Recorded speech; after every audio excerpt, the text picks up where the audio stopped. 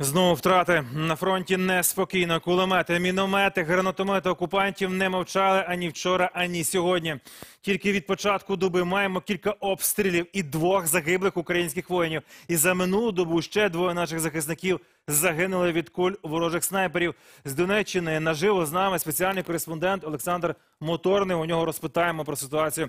Олександре, вітаю. Розповідаю, власне, що тобі відомо про загибель наших бійців вчора і сьогодні. Власне, яка ситуація? Що ти бачиш? Тобі слово.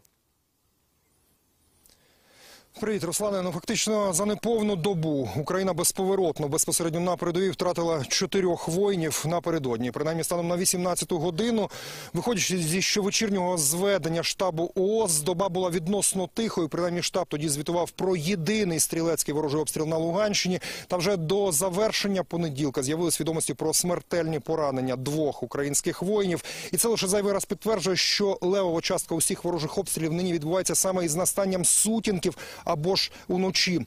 Сьогодні стало відомо, що ворожі кулі, не міни, не снаряди чи осколки, а саме одиночні постріли російських снайперів в обох випадках, які пролунали під щільним прикриттям ворожого кулеметного і автоматного вогню, забрали життя 49-річного молодшого сержанта Віктора Гелебранта з Харківщини та 23-річного солдата Владислава Мороза з Черкащини. Владислав Мороз поранення отримав на Донеччині поблизу Спартака. Це самісінькі околиці Донецька, поблизу із здапом військового оперативно доправили у госпіталь. Однак, попри усі зусилля медиків, врятувати його життя не вдалося. У Віктора Гелебранта ворожий снайпер поцілив на Луганщині в районі Золотого 4. Це поблизу з однією із ділянок розведення. Боєць тієї миті перебував на бойовому чергуванні. Кажуть побратими, що в засобах індивідуального захисту, але поранення було смертельним.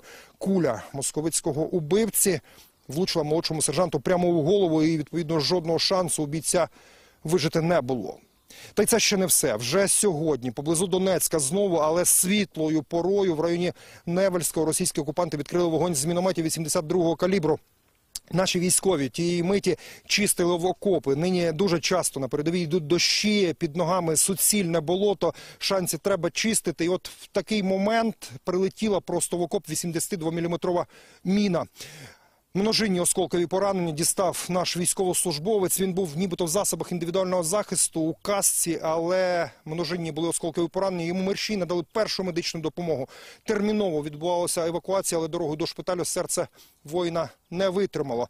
І вже близько 11-ї в районі Степного е, стався підрив нашої вантажівки на невідомому вибуховому пристрої. Подробиць нині небагато, але відомо, що бійці тієї миті везли продукти на один із ВОПів. В автівці було шестеро військовослужбовців, і буквально за лічені хвилини до е, підриву.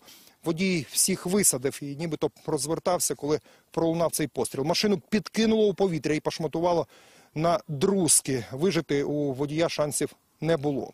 Додам, що все це відбувається на тлі того, що ворог Росія нині наказав перевести свої війська у повну бойову готовність з метою перевірки всієї армії. Ну і гадаю, ви знаєте про те, що впродовж кількох тижнів вже на півночі, на сході і на півдні в окупованому Криму росіяни нині активно підтягують у безпосередню близькість до українського кордону величезну кількість живої сили і важкої бронетехніки. Ну а безпосередньо на передовій, як ви розумієте, війна ні на мить не зупиняється. Руслане. Е, Дякую, колего. Олександр Моторний з Донбасу. З останньої інформації про загибель наших воїнів. Окупанти все частіше обстрілюють наші укріплення і вдаються до провокації снайперами. За півтори доби Україна втратила чотирьох своїх синів.